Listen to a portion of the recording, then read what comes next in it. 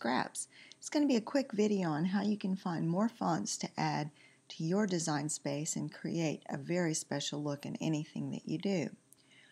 I did a search on thin fonts. Yes, thin, like as in skinny. And I came up with a whole lot of nothing. So I went to one of my more trusted places for fonts, and that would be FontSpace. When I got here, I thought, okay, let's try this. So I went to their search and I typed in the word thin. Hit the enter button and I got results for quite a few. Some not so thin, but with a fairly thin outline. And others like Time Burner that just, they looked like they might work as far as writing fonts in um, design space. I kept looking. I kind of like this one too. Looks too much like my own handwriting though, which I'm avoiding. And I went all the way. I just kept looking just to get an idea because I'm kind of a, a fontaholic and I'll download anything that looks cool. And I began to run into fights, fonts that had bold and light fonts. And the light fonts seem pretty slender like yellow peas. That, that's not a light font, but again, it's very slender. I got down to Party at Gatsby's right here on my screen, and I decided I really liked that one. So I downloaded it to my computer. I clicked on download. It did its little thing into my download file because I'm using a Mac if you if you didn't notice that. And from there, it's a piece of cake. I closed out of Safari and I go to my download file. Look at all my stuff on my desktop. It's pathetic.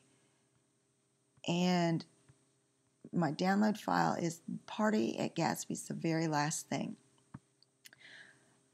On my MacBook, I go to my font book and I very easily, and I cannot, I apologize, remember how to do this on a Windows computer drag my font to all fonts in my font book. And it's already there, so it's going to tell me it's already there. And right here. I actually have it installed twice. So if I make it a little bit bigger, I've got a lot of fonts on my computer. What I like to do is when I am in my font application or my font program, I would I like to take a screen capture of the actual text. So on the Mac it's Shift Command 4 and then you drag the window. It takes a picture and I have my uh, screen capture app set up to just simply put it on my desktop which is why I've got quite a few files there right now. I can do a lot with that. I actually have a setup an Evernote notebook for just fonts. That way I can reference my fonts easily and, and know what they're going to look like when I use them. Let's take a little trip into Design Space. So I'm into Cricut Design Space. I've logged into my account, as you can see by my name is over here, and I'm going to create a new project. So I simply click on create a new project and I go to the design space.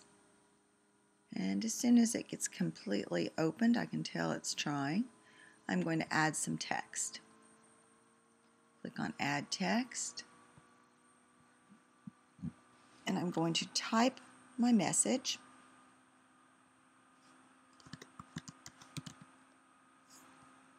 and deselect it. I found this seems to work just a little better for me on my Mac. Reselect it, go to Edit, click on the down arrow, and go to my font. Should be here. It's party, so it would be P.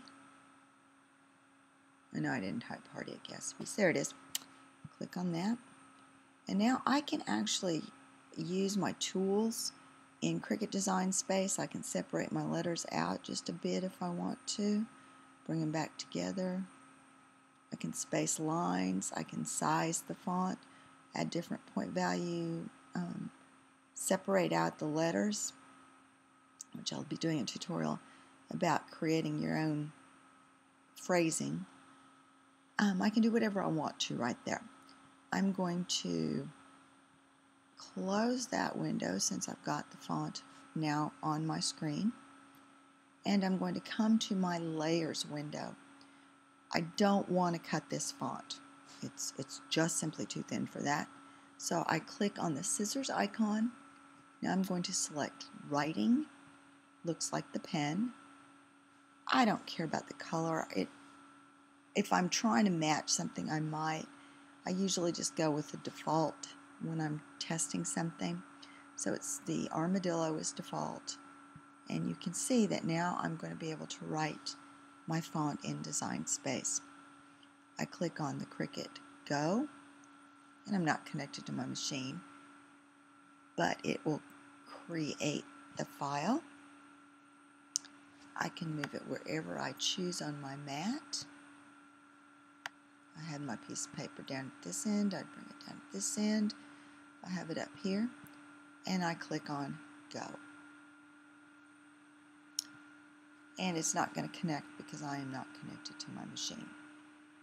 I will, however, show you a picture of that font written. I think it looks amazing, and I hope you enjoy it too. Until next time.